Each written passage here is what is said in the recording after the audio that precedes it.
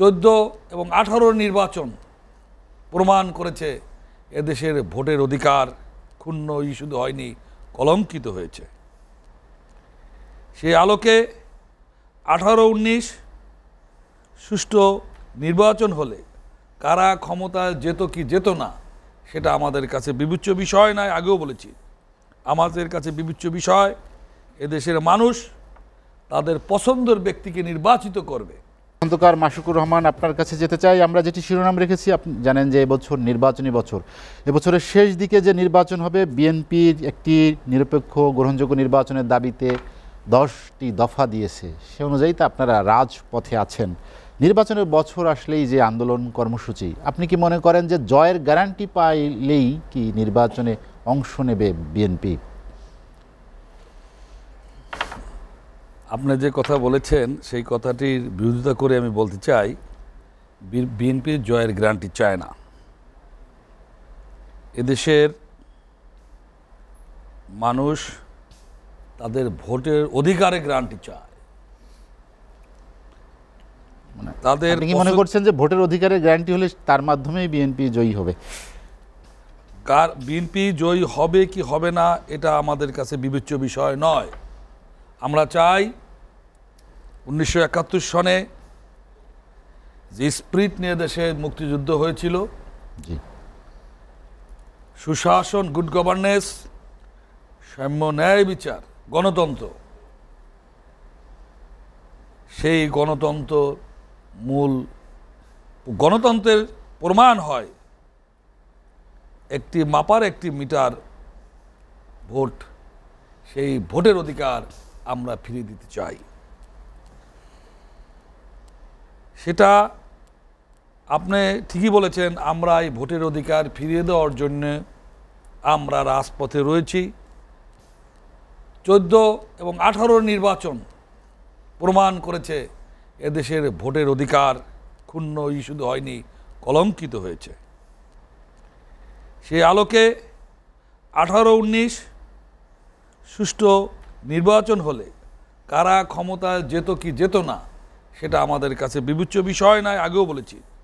আমাদের কাছে বিবেচ্য বিষয়, এদেশের মানুষ তাদের পছন্দের ব্যক্তিকে নির্বাচিত করবে এবং তারা আমার ভোট আমি দেব, যাকে খুশি তাকে দেব, আমার ভোট আমি দেব, তোমার ভোট আমি দেব।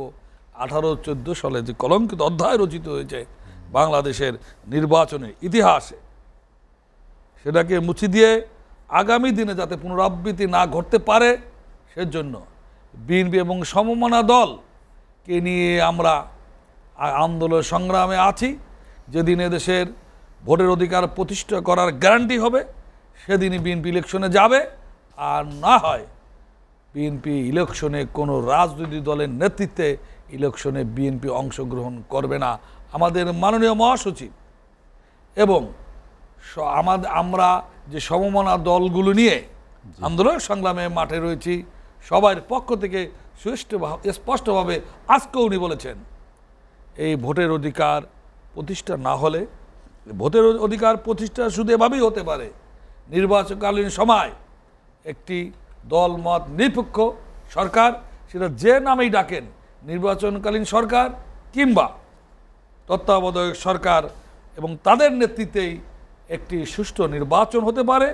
বিগত দিনের নির্বাচনে সেটা প্রমাণ করেছে একানব্বই, ছিয়ানব্বই, দুই এক। আপনার সকল নির্বাচন নিয়েই কিছু না কিছু, কিছুটা ত্রুটি থাকতে পারে।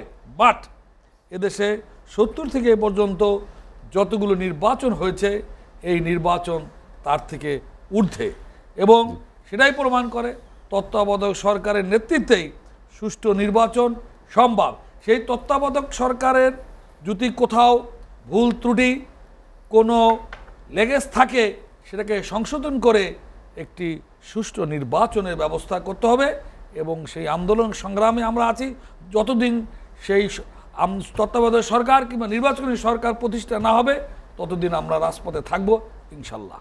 আরেকটি বিষয় খন্দকার মাসুকুর রহমান আপনার কাছে জানতে চাই, যেটি আপনার দলের মহাসচিব বলেছেন যে, নির্বাচনের আগে সরকার মাঠ খালি করার চেষ্টা করছে যেটি আগের মতো করেছিল।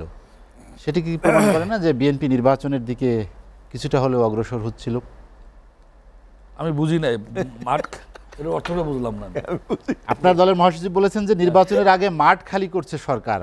মানে আপনারা যারা নির্বাচনের জন্য যাচ্ছিলেন তাদেরকে নানাভাবে এখান থেকে সরিয়ে দেওয়া হচ্ছে বা মাঠ খালি করার অভিযোগ করেছে। এতে কি প্রমাণ হয় না যে বিএনপি নির্বাচনের দিকে অগ্রসর হচ্ছে? আমি আপনাকে প্রশ্ন করতে চাই নির্বাচন যত ঘনিয়ে আসে,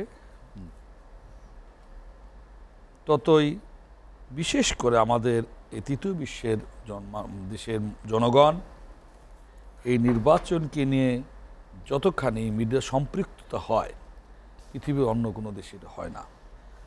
আর বিশেষ করে বাংলাদেশের মানুষ, গণতান্ত্রিক আমার মানুষ, আন্দোলন সংগ্রামের মাধ্যমে রক্ত খেয়ে যুদ্ধের মাধ্যমে দেশ স্বাধীন হয়েছে। তাদের মধ্যে সেই চেতনাবোধ রয়েছে। সেই থেকে তারা নির্বাচনের সময় আর এদেশ ছোট্ট কোনো না কোনোভাবে রাজনৈতিকভাবে হোক আত্মীয়তার কারণে হোক তারাই সম্পৃক্ততা হয়ে যায়। সেই সময় এই কারণেই মানুষের মধ্যে একটা উত্তেজনা বলেন উৎসাহ বলেন উদ্দীপনা থাকে।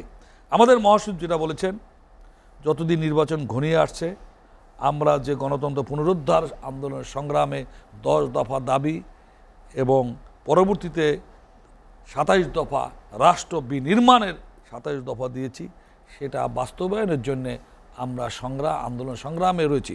এই আন্দোলন সংগ্রাম দমন করার জন্য চোদ্দ এবং আঠারোর পূর্বে এই সরকার যেভাবে গ্রেপ্তার গণগ্রেপ্তারের মাধ্যমে এই আন্দোলনকে দমানোর চেষ্টা করেছে সরকার সেই পথে হাঁটছে।